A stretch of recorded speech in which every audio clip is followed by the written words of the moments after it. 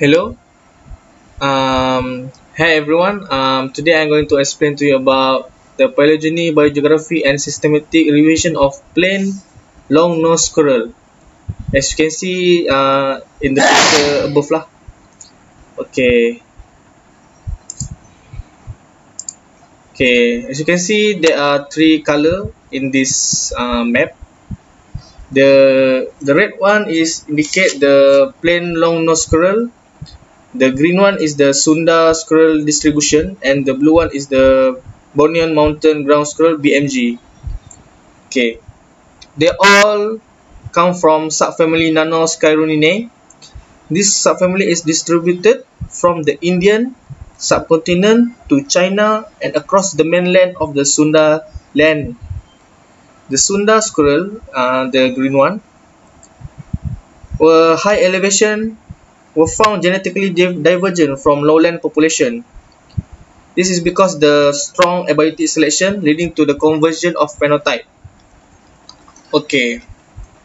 On the result, the researcher found that the Vietnam red-cheeked squirrel were more related to the red-chipped squirrel.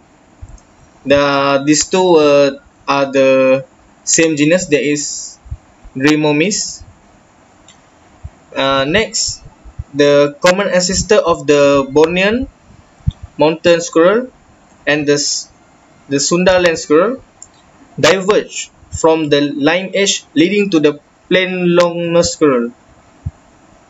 So you can see um this the the result is the the blue one and the red one here the Sundaland and the uh, Bornean squirrel diverge into the plain long-nosed squirrel. Okay, this divergence was estimated along 6.62 million years ago. Okay, uh, within the long nose the most recent speciation event occurs uh, in the Philippines during the Pleistocene period. That is uh, 117,000 years ago. Okay, this, the researcher conduct this uh, phylogenetic study by nucleic and mitochondrial DNA sequence to construct the phylogenetic tree, of course. Besides, they use the DNA extraction and DNA sequencing.